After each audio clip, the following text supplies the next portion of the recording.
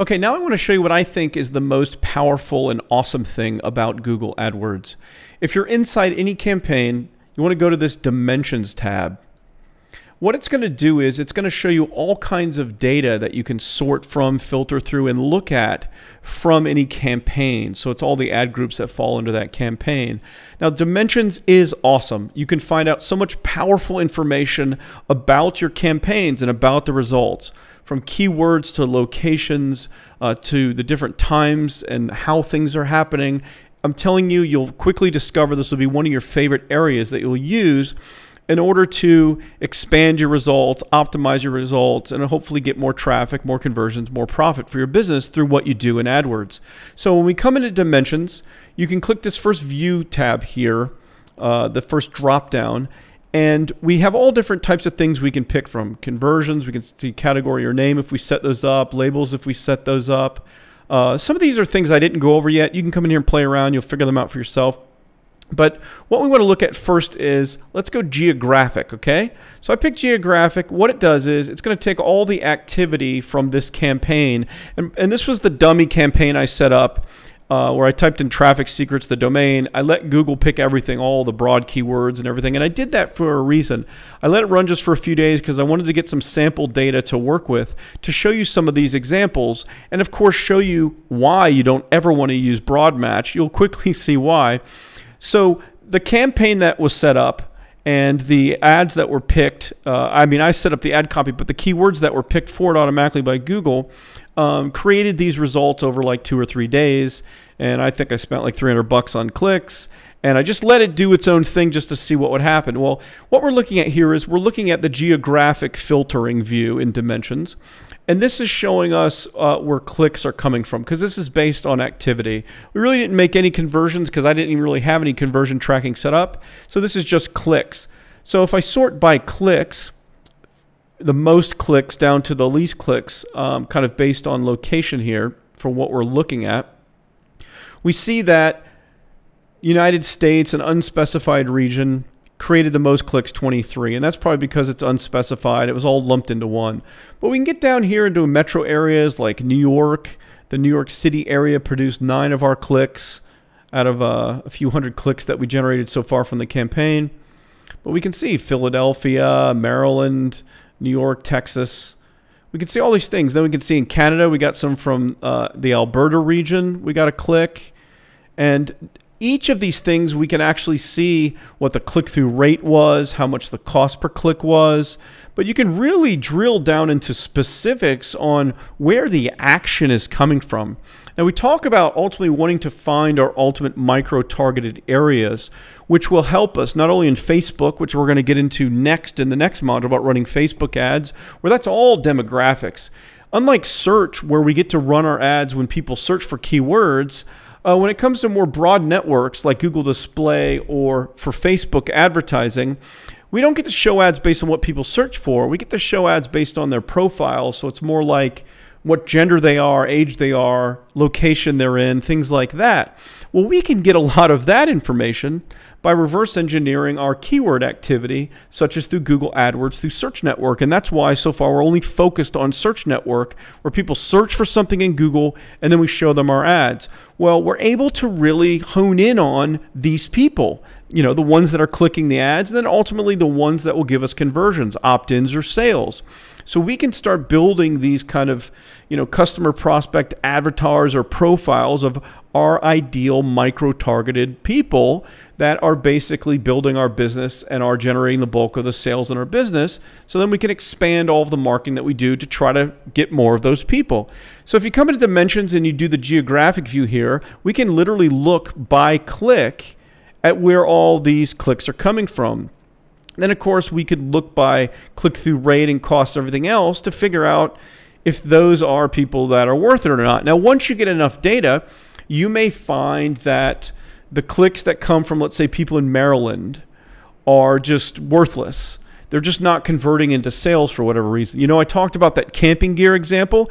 You may find that people in Colorado or Utah or, you know, California or someplace with mountains and better camping areas may produce you know higher conversions than people that may have also searched camping gear that are in you know Florida or other areas uh, that aren't as great for camping. That's why you want to look for data trends and correlations uh, in your business. That's why data is awesome.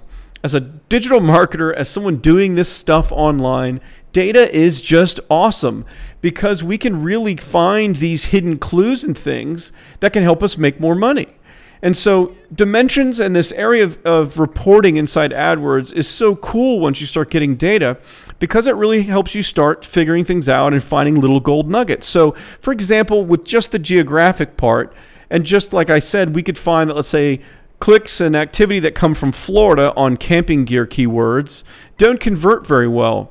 Well, then we can go in and we can adjust the locations to exclude Florida. So we don't ever have our ads shown to people in Florida because we find that they don't convert, they don't make a profit. The more we can exclude areas on a geographic basis, that is, that don't produce profitable results, the more we increase our profits. And I hope you're getting that and fully understand that. When you use Google AdWords, it is such a powerful system. But what's so powerful about it is we can exclude the stuff that doesn't work or doesn't make money, and we can do more of the stuff that does work and makes us money. Optimization is how you're going to make more money from AdWords and even make it profitable at all. Most people try AdWords and they do some things and they can't turn a profit, they quit. But they don't realize they can come into, for example, this dimensions area, drill so deep into the activity, where people are coming from, what time of day, all that stuff, and how it's converting and what it's costing. And you can just cut the fat. What I mean by cutting the fat is start eliminating and excluding these areas and these trends that you know aren't going to be profitable. So you can do it starting with geographic location. Even if you're picking just the United States, you'll find certain states or certain cities that are creating the lower profitable results. So we'll exclude those. The minute we exclude those, the moment we now make more money from still targeting the US, but being able to exclude those. So we can do it by click through rate. We can see certain areas just aren't clicking as much as other areas. And statistics are incredibly predictive of future statistics. Now, it has to be enough data to make these determinations. And of course, results and data can change over time, but we can still get and see some correlations to help us make decisions. So, geographic is one thing, super cool. You come in here, you poke around, and you can see conversion rate, click rate, all that by location. It'll help you to set up new campaigns and new ad groups by location. For example, if we find that there's one state or two states that are really producing a lot of great results, create a new campaign and only target those. And then really hone in your budget per day and everything else and the ads for that. So now we come down to having ads that meet the keyword from people in a certain location to a certain landing page and we really start tightening everything up who they are, what they see, what they click, and where they go, and how they convert. And that's how we're going to make the most money and really maximize things. So you come into dimensions, you can view, view by geographic. Another cool thing is you come under here and you view by search terms.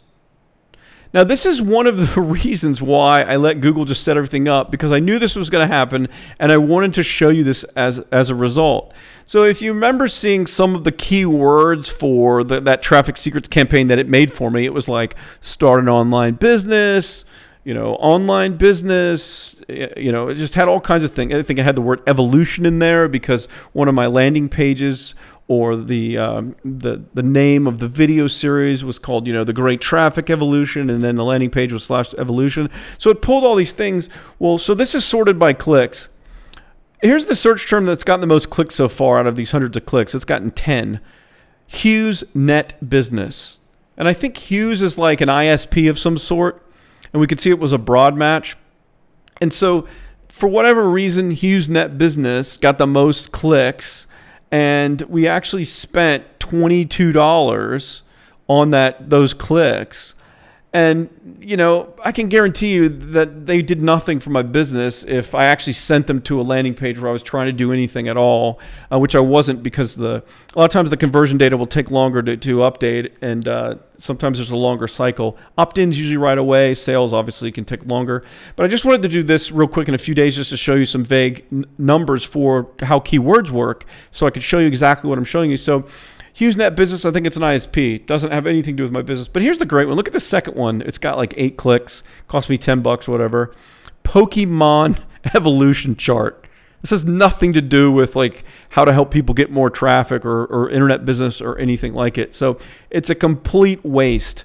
Uh, the broad term of business got some clicks, but why would anyone want to ever you know run ads for a single word keyword because you don't really know you know what what all is included in that. Internet companies start a business online, you know, T1 business. I guess someone's looking for T1 lines, telecommunication lines for business. Yelp for business owners, German Evolution, San Diego businesses for sale by owner, uh, BBB Fashion Online, Business Games.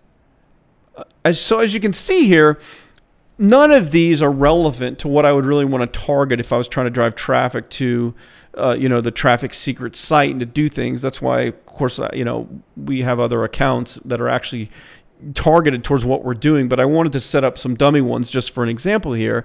But so this is why you never want to use broad match ever because you'll get so many crazy, crazy terms uh, that'll show up and that'll waste your money. So you never want to do that.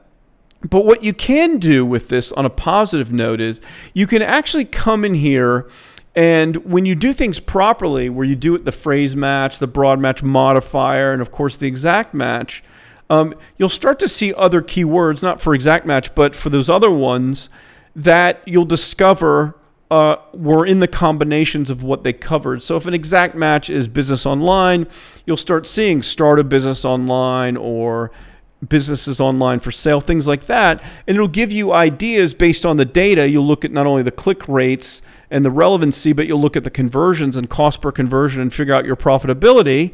And then you can move those into new campaigns and ad groups and start targeting them separately. So, dimensions for viewing search terms is a great way to find new search terms and things for you to target in order to grow your traffic and of course your your leads and your sales. So, it's not just to come in here and see which ones are bad, but it's to see, you know, which ones are basically new ones that you can start like I taught you like with the grow cherry tomatoes example when we figured out that you know cherry was the next subset under grow tomatoes that expanded it to a three word keyword same thing you can come in here and that's where you would find it you'd start seeing oh you'd see what's that grow cherry tomatoes and you'd see it got a lot of traffic and some good conversions and profitability.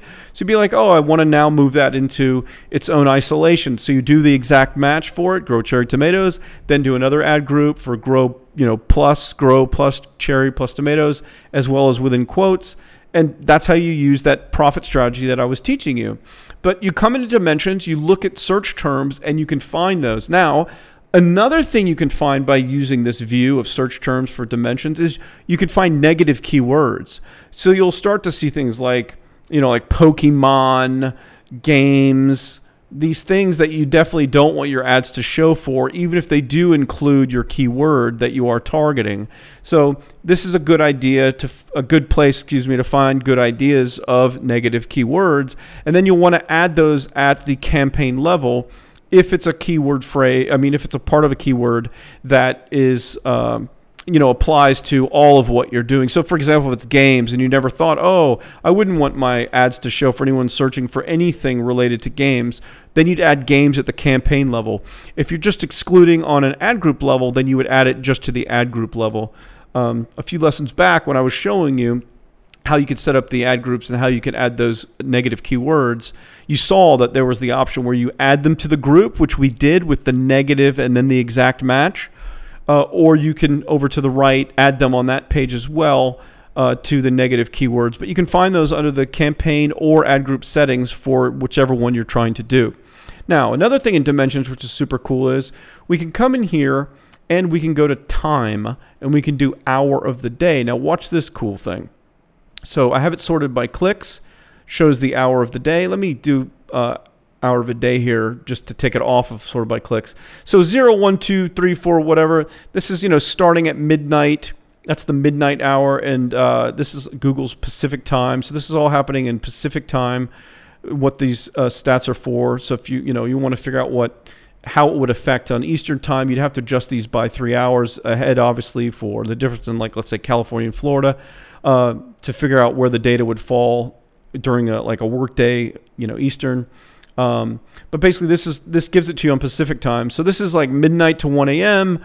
You know, during the 1 a.m. hour to 2 a.m., 2 a.m. to 3, so on and so forth, all the way down to, you know, late at night, 10 o'clock, 11 o'clock, and then you know the last hour between 11 and 12. So this is very important because what you'll see when you start charting your conversions, you'll st- you'll see these hot pocket areas of activity. So for example, we just sort by clicks. If we had conversion data, we could click the conversion column and sort by conversions. And of course, sort by cost and cost per conversion. We can see what time of day is getting us the highest profitability. So we can see here the ninth hour of the day around 9 a.m. from like 9 a.m. to 10 a.m. where we got the most click activity. And then these other ones were later at night. But you'll find these areas and these correlations in your business where most of the sales happen and most of the profitability happens. And if that's the case, you know, some people find it's kind of it's kind of equal. You get it all different times if you're targeting different countries and things. But by the way, the way I'm teaching you to do it when you're going to target a individual country by individual campaign, you'll be able to come in here and it'll show like Pacific time, but you can make your decisions based on that data. You can find where the windows are of, let's say, if you target someone in Germany, where most of the activity comes from. And then uh, in the next lesson, I'm going to show you how we can do ad scheduling to only show our ads during the times that we specify. And we again, it's another way to cut out the fat. We eliminate the areas uh, that aren't producing profitable results. Now, for some keywords, we'll find that it's kind of equally distributed. We're still getting traffic even late at night. And even though we get less clicks, let's say for a California targeted area because people are asleep, the, the clicks that we do get, people are still buying around the same rate, even though the numbers are all smaller. So it's still profitable. So it's fine. In that case, we'll leave the keyword or that ad group running 24 hours like it is already now by default. They all run 24 hours a day by default. But if we do start finding these, you know, certain trended areas like business hours, 8 to 5, or even in the middle of the day from noon to whenever, or even let's say a lot of our buyers for whatever a certain product is, they buy just at night. They don't buy during the day. They typically make that decision or that conversion more at night. Whatever it is, we'd want to find out if there's that ice, you know, find out if that is really happening over enough data. And if it is, then we cut the fat by scheduling that keyword ad group to only run during the hot times when we're the most profitable. By making a decision like that, we immediately make more money in our business because we're eliminating all the areas the other areas that are less profitable. So it's yet another way to make more money from AdWords. But come into dimensions once you get some data and you can really look through and find these cool things. It's great.